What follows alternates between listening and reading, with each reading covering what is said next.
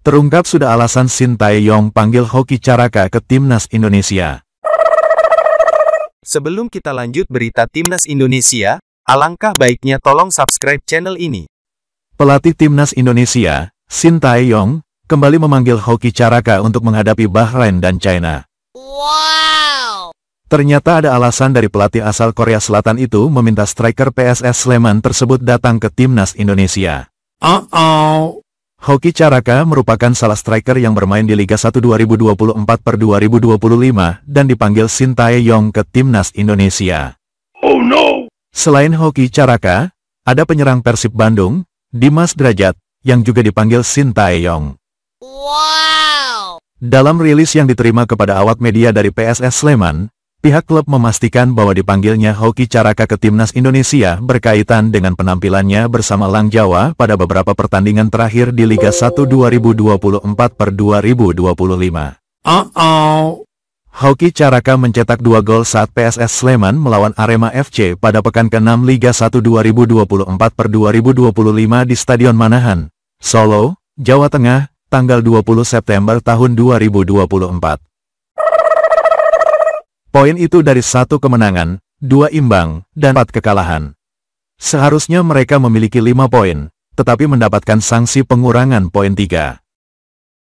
Shin Tae-yong langsung memanggilnya dan memberikan kepercayaan penuh kepada Hoki Caraka. Uh-oh.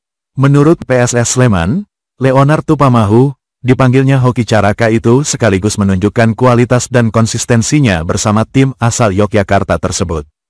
Hoki Caraka dinilai bisa beradaptasi bersama timnas Indonesia di level internasional. Leonard Tupamahu pun merasa bangga dengan pencapaian dari striker asal Gunung Kidul, Yogyakarta, tersebut. Wow! Mengenai Hoki yang kembali dipanggil timnas Indonesia tentu kami dari PSS sangat bangga. Dia membuktikan masih bisa bersaing untuk dipanggil pada jeda internasional kali ini. Performa dia pada beberapa pertandingan kemarin dengan mencetak dua gol bersama klub juga tentu menjadi bukti dan alasan dia kembali dipanggil timnas Indonesia, ucap Leonard Tupamahu.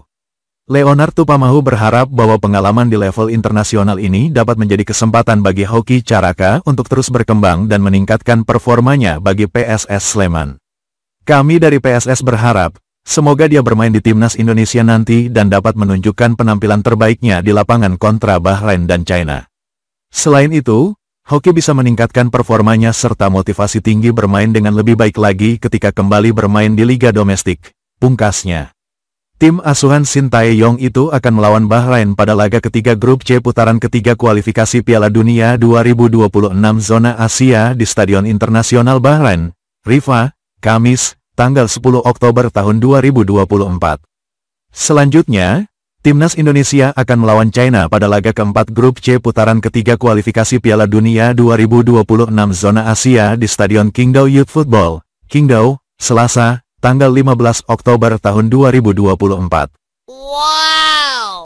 Adapun hoki, Caraka dan para pemain asal klub Liga 1 2024 per 2025 diminta untuk berkumpul di Jakarta pada Sabtu, tanggal 5 Oktober tahun 2024, siang WIB.